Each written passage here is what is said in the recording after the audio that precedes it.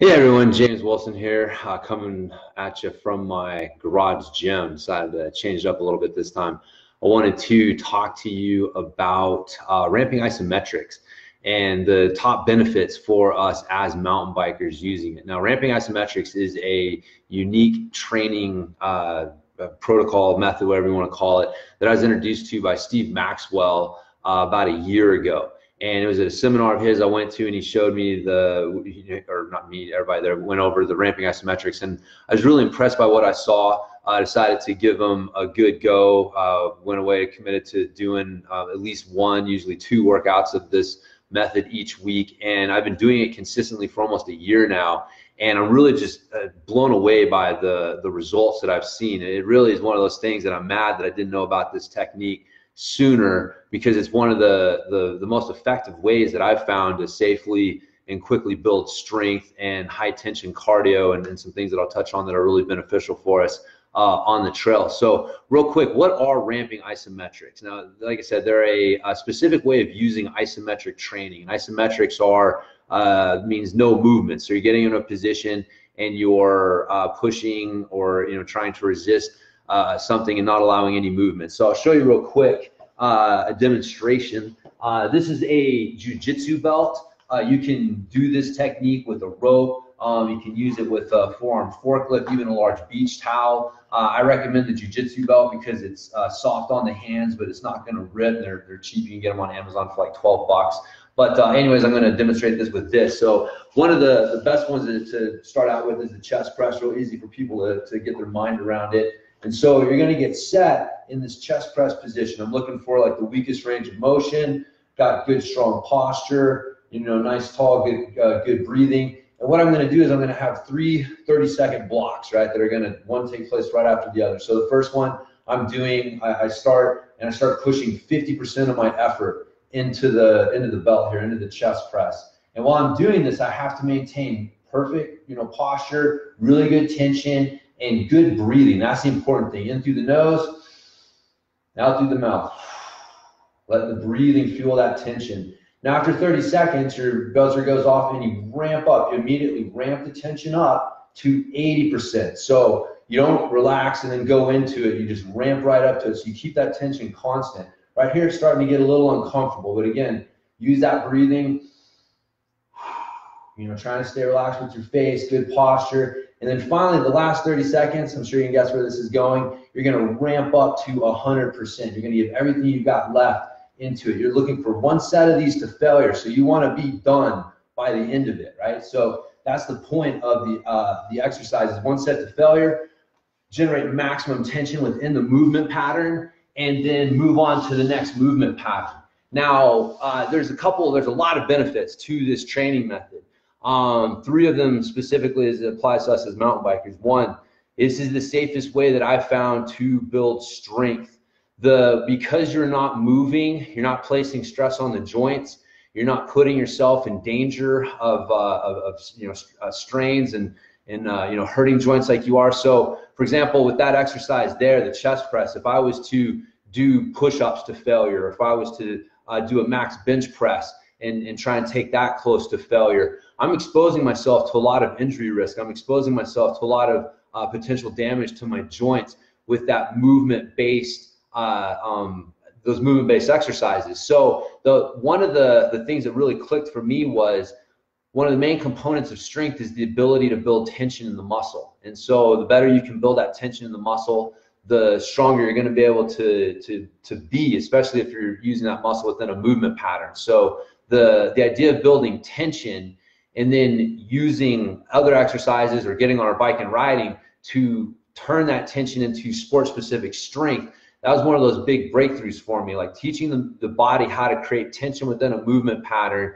is kind of this missing element that we're we don't have before we start trying to apply that to specific movements. And so the uh, um, again it's, it's a really safe way to build strength really easy on the joints the other uh, benefit is you, you can see breathing is a huge aspect of doing ramping isometrics properly.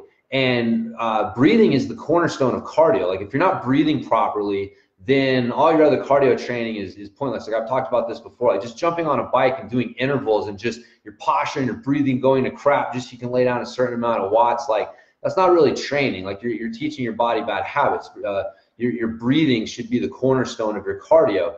And so even though you're not moving right there, your body's under an extreme amount of tension and your body's having to fuel that tension for a very long period of time, right? You're under tension for 90 seconds total, 60 seconds of which is very high tension.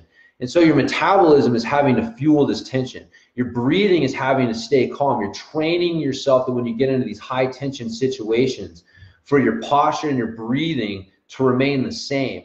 And it's one of the big things that I see with riders is they get into these high tension situations. They got to stand up on a climb or uh, you know stand up for a sprint or um, you know just something that really requires them to get into a really high tension uh, effort. And their posture and their breathing just goes to crap. And so now they're just burning energy even faster. So not only are they in this like you know high energy high tension situation they're very inefficient with how they're breathing and how they're moving where their posture is. And so with ramping isometrics you're training this high tension cardio in a way that you really can't do with any other training method. Because when you're doing intervals or you're doing you know some other sort of cardio training the muscles have a chance to, to relax. There's a there's moments where the tension uh, is, less and they can recover a little bit. With ramping isometrics man once you start the tension the tension's on for 90 seconds total. So it's a totally it's completely different uh, a challenge for your cardio system to fuel that type of tension. And again, it's very specific to what we use on the trail. It's such a great way for you to train that, what I call like the highest level of high tension cardio, which is just that constant tension with no break for an extended period of time. So um, extremely effective for, for training that there. And also, man, they are the most efficient and convenient workouts that you're going to do. You can get a complete workout done with ramping isometrics in 20 minutes or less. I know that sounds like an infomercial, but it's true because you're only doing one set of each exercise. So you're not having to go through it multiple times. You're doing one exercise, picking, you know, I like to pick a push, pull, a hinge, a squat, um, usually some sort of neck exercise, some sort of uh, you know, auxiliary exercise for the core. So you're talking like five, six exercises. They're a minute and a half each, right? And and so again, like you do the math, and it's like, wow, it does not take long to get through one of these workouts.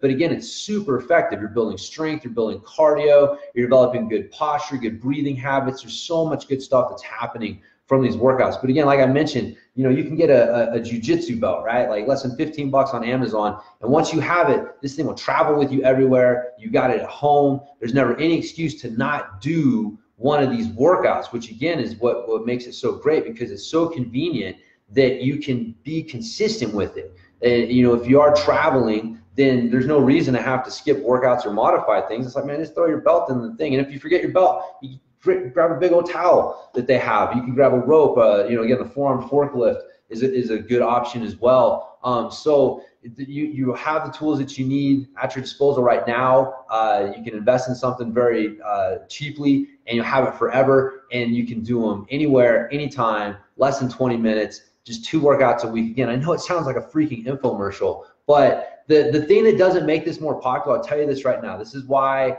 This is where the infomercial stuff stops, which is this stuff ain't easy, right? Like don't don't get me wrong. Like this stuff is super effective, but it's hard.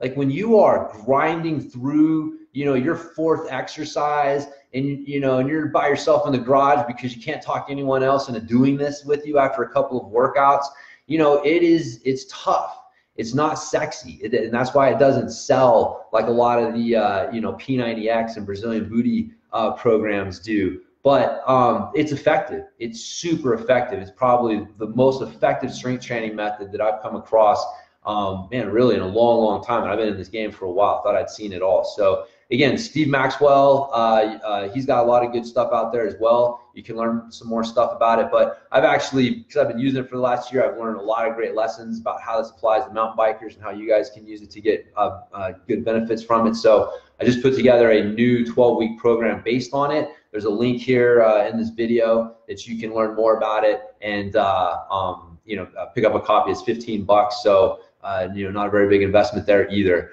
and again, so no more excuses you can do strength training. um, ramping isometrics is the key to it. So if you have any questions or whatever, uh, you know, throw them in the comments. I'll come back later and check them out and, answer them, or you can hit me up at james at bikejames.com. But uh, again, hopefully I piqued your interest at least a little bit in this training technique. I, I I'm baffled why more people don't know about it. Um, I talked to you know a lot of coaches in the last year, and it seems to be this big underground mystery. But um, man, from the results I've seen, the people that I've turned on to who've been using it, the clients that I've been working with across the board, it's been like wow, game changing type results.